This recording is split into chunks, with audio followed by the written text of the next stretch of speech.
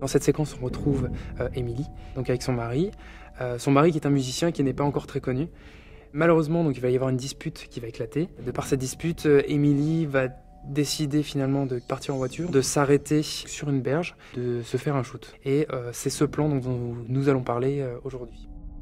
C'est un plan d'ensemble. L'utilisation de ce format peut signifier le désir d'évasion du, personnage. Émilie est en train de s'isoler euh, du, monde autour d'elle. Elle va décider d'aller se droguer dans, dans cet endroit reclus, euh, enfermé dans sa voiture, de l'autre côté de la rive. La voiture peut être une métaphore d'une cage pour montrer son isolement face au reste du monde. La solitude d'Émilie est montrée par la place minime euh, que le personnage occupe à l'image par rapport à la zone industrielle dont les limites sont peu perceptibles.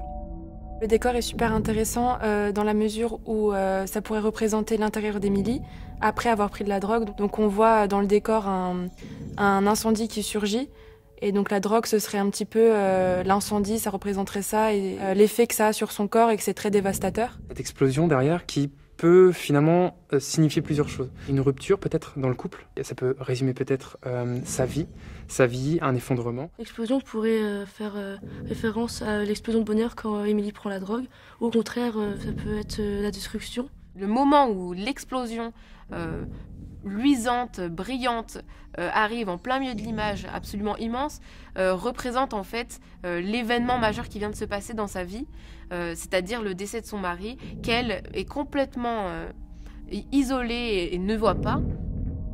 Le choix d'un faible éclairage pour cette scène est très important, puisqu'on pourrait le relier finalement à la vie tout court d'Émilie. Émilie vit à ce moment-là une période assez sombre les feux arrière sont rouges, ça peut représenter l'amour, ça peut aussi montrer l'amour destructeur qu'elle a avec son compagnon et la colère. La voiture reste allumée. Ce rouge signifie pour moi euh, quelque chose de très important. Émilie souhaiterait peut-être marquer une, pause très importante dans sa vie, peut-être dans le but de repartir sur deux bases saines. Il y a la rive entre les deux qui symbolise euh, cette séparation vraiment nette entre euh, la vie d'Émilie qui est en train de se, se mettre en pause et de l'autre côté le reste du monde dans lequel il continue de se passer des choses.